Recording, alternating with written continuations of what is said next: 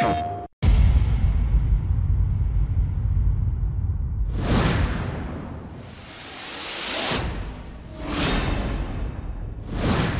comes a new challenger. Sir Daniel Fortescue.